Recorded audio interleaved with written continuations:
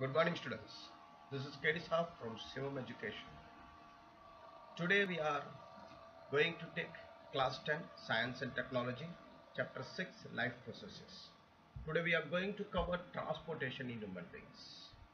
Transportation ये word सुना है आपने ट्रांसपोर्टेशन बोलो तो आपको मन में एक तुरंत ख्याल आएगा बसेस लॉरीज ट्रेन ये सारे जो है कोई चीज़ों को यहाँ से वहाँ ले जाते हैं, या तो फिर पैसेंजर्स को ले जाते हैं।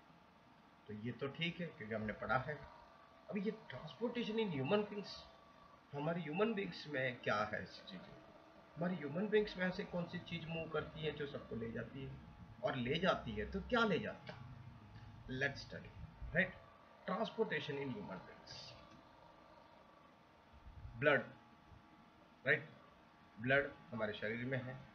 It's very important part of our body अब ये ब्लड जो है, ये बनता है ट्रांसपोर्टेशन का ज़रिया it becomes the medium now ये ब्लड क्या करता है? आपने देखा होगा ब्लड सारे शरीर में फ्लो करता है। आपको कहीं भी कट आएगा शरीर पे, आपको ब्लड निकलेगा। That is blood is running all over the body तो ये जो है, इस मीडियम को नेचर ने यूज़ किया है फॉर ट्रांसपोर्टेशन अब आप पूछोगे कि ये क्या क्या ट्रांसपोर्ट करता है। Yes nutrition that is food carbon dioxide oxygen जो बहुत ही ज़रूरी है हमें एंड फ्यू नाइट्रोजनस का waste which are to be remove is all this things are carried by blood let us start blood being a fluid connective tissue consist of a fluid medium called plasma Fluid medium called plasma in which the cells are suspended. The plasma transports food, carbon dioxide and nitrogenous waste in the dissolved form. Oxygen is carried by the red blood cells please बच्चे लोग याद रखना oxygen is carried by the red blood cells many other substances like salts are also transported by the blood now to carry out this transportation in better way we need a pumping organ to push blood around the body. अभी ये जो road पे जो transportation है, उसको push करने के लिए फ्यूल है पेट्रोल है सीएनजी है, ये सब है। तो हमारे बॉडी के अंदर भी जो ट्रांसपोर्टेशन है, उसको पुश करना ज़रूरी है। पुश करेंगे तो ही वो हर जगह पे मूव करेगा। अब ये मूव करने के लिए उसको भी तो कुछ चाहिए।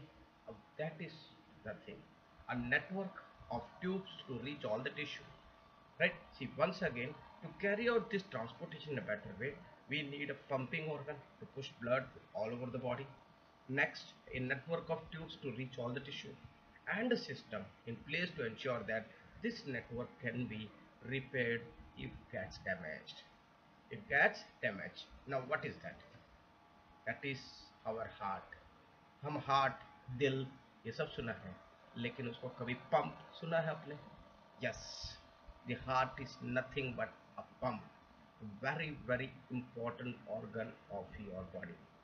It does the work of pumping. 24 into 7 each and every second it keeps on pumping. And that pumping keeps you alive.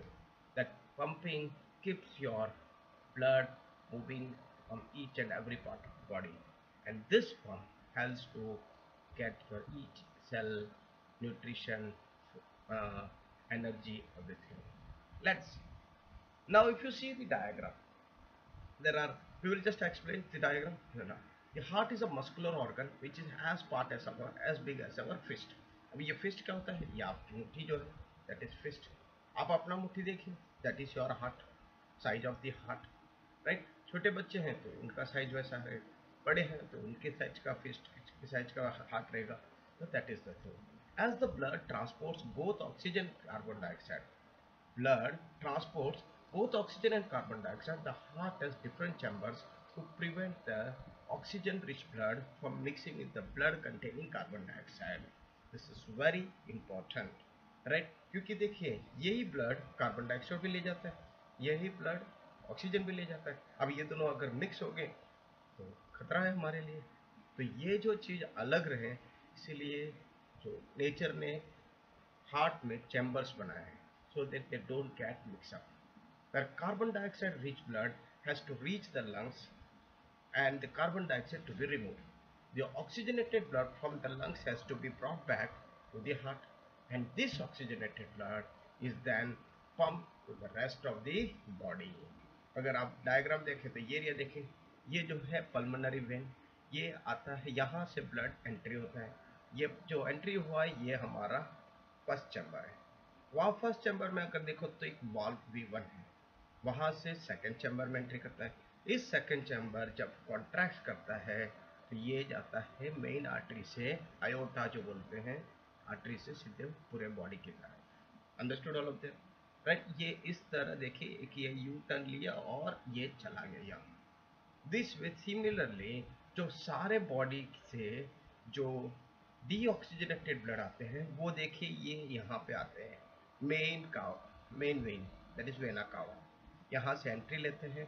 V2 करके जो वाल्व है, वहाँ से नीचे आते हैं। That is chamber number four ऊपर था चैम्बर नंबर थ्री ये था चैम्बर नंबर फोर यहाँ से जब ये श्रिंक या कॉन्ट्रैक्ट होता है this will just get out to the lungs.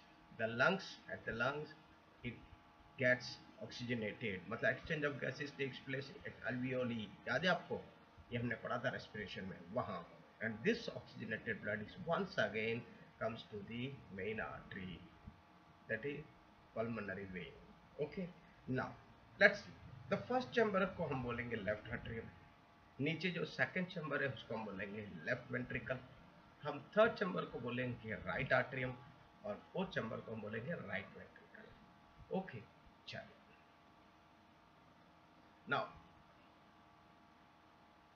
human circulatory system oxygen rich blood from the lungs oxygen rich blood from the lungs comes to the thin walled upper chamber of the heart on the left atrium the left atrium relaxes when it collecting the blood जैसे जैसे blood आते जाएगा, वो relax होते जाएगा और थोड़ा खुल जाएगा स्वेलअप हो जाएगा. नाउ इट देन कॉन्ट्रैक्ट्स वो श्रिंक होता है while the next chamber the left ventricle expands वो जब श्रिंक होगा तो ब्लड को कहीं ना कहीं नीचे उतरना पड़ेगा तो वाल वन के थ्रू वो लेफ़्ट वेंट्रिकल में उतर रहे हैं। So the blood is transfer to it and now when the muscular left ventricle contract अब ये लेफ़्ट वेंट्रिकल जब कॉन्ट्रैक्ट करता है तो ये ब्लड निकल जाता है बाहर। Right it turns the blood and come to the body वैसे ही deoxygenated blood deoxygenated blood comes from the body to the upper chamber on the right the right atrium as it expands as the right atrium contract through we to valve number 2 it gets inside to the right ventricle right as the right atrium contracts the corresponding lower the right ventricle dilates this transfer blood to the right ventricle which in turn pumps it to the lungs for the oxygenation. Since ventricles have to pump blood into various organs, they have thicker muscular walls than the arteria do. Listen students, read it carefully. This one mark question this is. Right? Since ventricles, जो जो नीचे जो ventricles है, have to pump the blood into various organs, they have the thicker muscular walls than the arteria does. Arterium देखो दोनों arterium जो है वो सिर्फ़ ब्लड को रिसीव करते हैं लेकिन जो वेंट्रिकल है उसको ज़ोर से पुश करना पड़ता है so that it reaches all over the body walls ensure that the blood does not flow backwards when the arteria or ventricle contracts